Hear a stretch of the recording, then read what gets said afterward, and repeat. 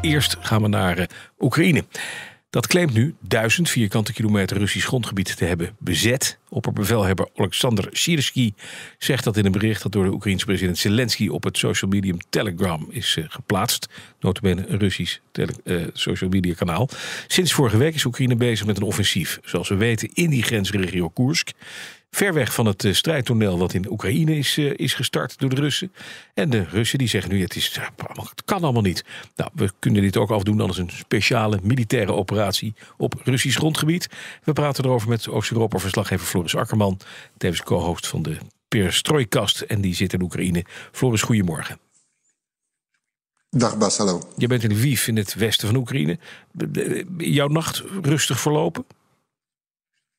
Mijn nacht is rustig verlopen, ja. Geen, geen luchtalarm. Nee, helemaal niks. Goed zo. Uh, eventjes nu, nu naar die ja, een, week durende uh, invasie in, uh, in Rusland. Wat willen de Russen daarmee bereiken eigenlijk met die, ja, met die duizend kilometer, vierkante kilometer die ze hebben? En ja, dus voor, voor de Oekraïners, de Oekraïners zijn daar binnengetreden. Wat die willen bereiken is. Um, ja, dat, dat, dat, blijft gissen. Ze zeggen daar niks over, hè, wat, wat het daadwerkelijk plan is. Um, van de week uh, zijn experts daar op de radio over van. Nou, het is misschien wel beter dat we niks zeggen. Laat de Russen maar in het ongewisse. Laat ze maar denken dat we bij wijze van spreken Moskou oprukken. Mhm. Of dat we iets anders innemen. Dan weten ze ook niet wat ze moeten doen. Dus dat is misschien ook wat het idee natuurlijk van, van de Oekraïners, van de Oekraïnse krijgsmacht. Uh, we zeggen niks. We zeggen alleen dat we er zijn. Maar wat ons, precies ons plan is, dat weten we niet. Er wordt nog steeds gesuggereerd dat het gaat om, om, om, om uh, te ontlasten uh, van de Oekraïners uh, in, in, in, het eigen land. Hè, dat de Russen naar versterkingen moeten sturen naar, naar Koersregio. Ja.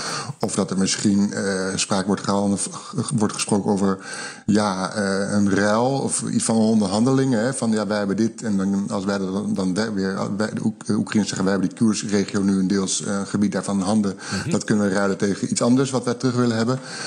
maar goed, dat, dat is niet officieel, komt er nog naar buiten. Dus ja, dit, dit blijft ook een expert gisteren die ik sprak, die zei ook, ja, het, is gissen wat het is. Ja. Uh, wat precies de, het idee erachter is. Mm -hmm. Maar ja, uh, de Oekraïners, die, die, die, uh, ja, het geeft een, een, een, moraal wel, of een moreel, of een motivatie wel een enorme boost. impuls. Dat kan me voorstellen. voor de Oekraïners, ja, een boost. Ja, nou zegt ze... Ja, want, want eigenlijk, tot, ja, ga, sorry, ga je gang. Ja, Zelensky zegt zelf, ja, Rusland heeft de oorlog naar meerdere landen gebracht, hè, ook naar ons land. En nu krijgt hij die oorlog terug. Uh, eventjes in, de, in, het, in het licht van, van internationale reacties. Het is natuurlijk, hij verdedigde zijn eigen land. Nu gaat hij offensief een ander land in. Uh, iets waarvan hij Poetin heeft beschuldigd dat te doen. Ik kan me wel voorstellen, je kan in, er zijn allerlei uh, goede redenen waarom je dit inderdaad zou moeten doen. Maar anderzijds kan me ook voorstellen dat geallieerden nu zich achter de oren krabben en denken: ja, wacht even, ons wapentuig wordt ingezet om nu een actie in Rusland te plegen.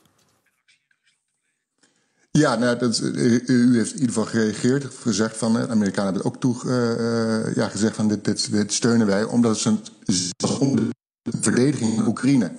En wat Zelensky heeft gezegd, van nu weten de Russen het ook is, en dat hoor je ook op straat. Uh, van ja, Rusland uh, valt andere landen aan, Oekraïne, uh, Georgië, en mm -hmm. denkt daarmee weg te komen. Ja. En nu overkomt Rusland hetzelfde en mag het opeens allemaal niet. Dat is voor de Oekraïners ja. denken van ja, waar gaat het over? Je, mm -hmm. Jij vernietigt onze dorpen, je, je, bedreigt een kerncentrale en nu doen wij iets terug. En dan, dan, dan schreeuwt Rusland van de hoogste toren van dit kan allemaal niet. Ja, voor Oekraïners is dat, ja, ja, ja. die denken van ja, dus dit, wat, wat, wat, wat heeft Poetin, wat zegt hij eigenlijk allemaal? Ja, de pot verwijt de ketel. Dan heeft de regering van Zelensky een ja. onophoudelijk probleem om, om geld te vinden. Om die oorlog te kunnen financieren. Hè, ondanks de westerse wapens die hij krijgt. Het kost een vermogen. En nu deze actie, duizend uh, vierkante kilometer grond bezet houden in, in Rusland. Dat kost ook weer centen. Hoe, hoe gaat hij dat betalen? Ja, daar, daar zit nu. Hè, ten eerste krijgen ze geld vanuit het buitenland. Maar Oekraïne, de regering, is nu ook uh, op zoek naar geld in het binnenland. En uh, daarvoor zijn, uh, willen ze belasting verhogen hmm. voor bedrijven. En om daar geld van. Ja, ze moeten die oorlog bekostigen. Ze ja. zien dat die oorlog langer gaat duren dan ze in, eerste, in het eerste jaar riepen. Hè. Toen dachten ze allemaal van riep Kiev, het is een snelle overwinning. Maar de oorlog gaat gewoon lang duren. En ja, dus moet er geld komen. En dus hebben ze nu een belastingplan uh, opgesteld. Dat is nog niet goedgekeurd door het Oekraïnse parlement. Waarin ze onder meer geld willen halen bij meer, uh, meer belasting willen leggen op, uh, op bedrijven. Ja. Maar daar wordt op gereageerd voor die bedrijven. Ja, dit, dit, dit kan niet. Want je moet ook denken aan je economie. Je kan niet bedrijven hogere belastingen opleggen en mensen hogere belastingen opleggen als er zo meteen geen geld meer is om, om, om de economie te steunen. En vanuit die economie kun je ook weer het leger financieel ondersteunen. Dus daar is discussie over. En dan zeggen, zeggen Oekraïners en dan zeggen ook de Amerikanen bijvoorbeeld gezegd: ja, pak dan eerder de grijze zone aan dat is een soort van ja, bedrijvensectoren die eigenlijk bijna geen belasting pakken, uh, betalen. Daar moet je het geld vandaan halen. Niet bij bedrijven die nu al belasting betalen en goed zijn voor de economie. En uh, dat, dat is dus de kansen waar, waar uh, Oekraïne het vandaan moet halen. En uh, dat geld. En er wordt nu ook wel gezegd van uh, onlangs op de radio uh, van eigenlijk zijn het hervormingen, belastinghervormingen die Oekraïne al voor de oorlog had moeten -hmm. invoeren. Maar nu onder druk van de oorlog moeten opeens dit soort dingen gebeuren. Dus op zich is het op zich niet zo slecht dat het gebeurt. Alleen ja, het moment zelf is natuurlijk wat wrang. Ja, zeker. Eventjes even naar de, naar de reactie van de Russen. Want je zei het al, Poetin is niet blij. Ik begrijp dat op, het, op de televisiekanalen in Rusland dit talk of the town is in de talkshows. dit verhaal, deze aanval van Oekraïne op, op Rusland Rusland. Maar ook dat Russen gezegd hebben: we komen met een, met een antwoord. Grote vraag is natuurlijk: gaat dat inderdaad gebeuren? Want je moet inderdaad troepen gaan weghalen uit het oosten van Oekraïne, waar de Russen nu dat deel van het land bezet houden. Ja, de, de, de vraag is hoe Poetin dat gaat doen. Uh, gaat, hij, uh, ja, moet, gaat hij toch mobiliseren bijvoorbeeld? Gaat hij extra troepen uh, aanvoeren, mm -hmm. oproepen?